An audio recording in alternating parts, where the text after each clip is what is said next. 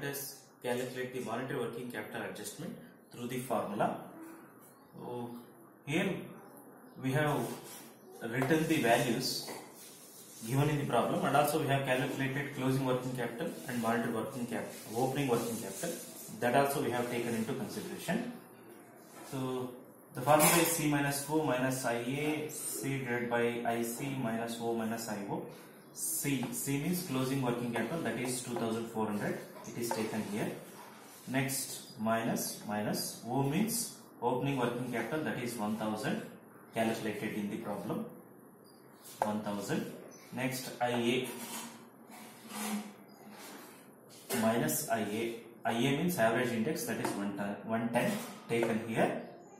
Into C means closing working capital 2400 taken here divided by IC means closing index that is 120 taken here minus O means opening working capital that is 1000 taken here divided by IO means opening index that is 100 given in the problem taken here.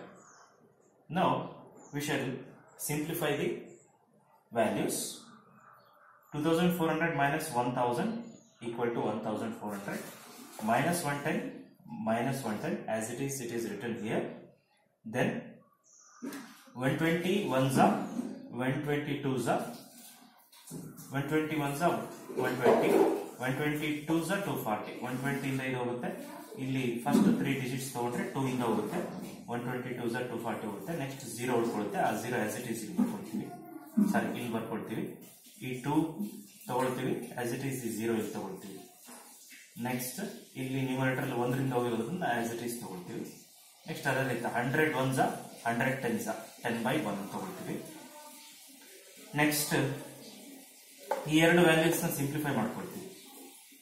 Denominator same ಇರೋದ್ರಿಂದ twenty minus ten numerator ವ್ಯಾಲ್ಯೂಸ್ನ direct ಆಗಿ ನಾವು less ಮಾಡಬಹುದು twenty minus ten ten minus one ten as it is ಬರ್ಕೊಂಡಿದ್ವಿ thousand four hundred as it is ಬರ್ಕೊಂಡಿದ್ವಿ.